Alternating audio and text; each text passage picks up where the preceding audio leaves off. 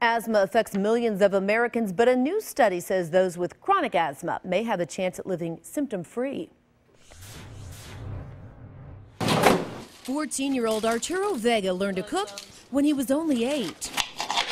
I like cooking bistec and arroz, like rice and beans. Today, Arturo is putting those cooking skills to good use. He's recently adopted a healthier lifestyle. A new study indicates that avoiding certain fatty foods and adding omega 3 fish oils to the diet could help decrease asthma in kids. Perhaps having more of this healthy type of fat that has an anti inflammatory effect, could it actually help uh, treat asthma and treat the inflammation with asthma.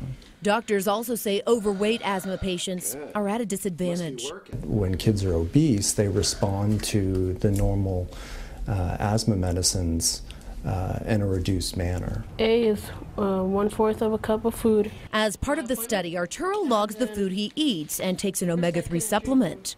Since May, he don't use the, the medicine for the asthma. Arturo says he hasn't had an asthma attack since he started the study, and he has more energy. He's hoping to use his experience and his passion for cooking to become a future healthy celebrity chef.